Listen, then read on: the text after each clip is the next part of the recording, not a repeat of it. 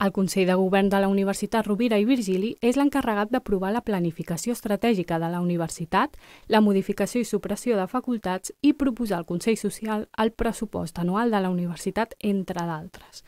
Enguany, l'equip de direcció ha presentat a l'organisme la priorització de les noves infraestructures i les que hi ha pendents. Entre elles es troba el projecte de la nova Facultat de Medicina i Ciències de la Salut, que es tracta de l'obra més costosa, per la que es podria necessitar entre 80 i 100 milions d'euros i que necessitarà finançament extern i l'impuls de l'Ajuntament de Reus. Altres novetats que s'hi trobaran el curs que ve és l'ampliació de places al grau de Medicina, que passarà de 125 a les 137, sumant-hi així 12 places. La rehabilitació de l'edifici de la Facultat de Ciències de l'Educació i Psicologia és un dels altres projectes que tenen com a prioritat. A proposta dels estudiants que han pogut decidir per primera vegada aquest curs, a través dels pressupostos participatius, els campus de la universitat comptaran amb bancs de pícnic, taules de tenis taula i fonts d'aigua que s'instal·laran entre el mes de juny i el proper desembre.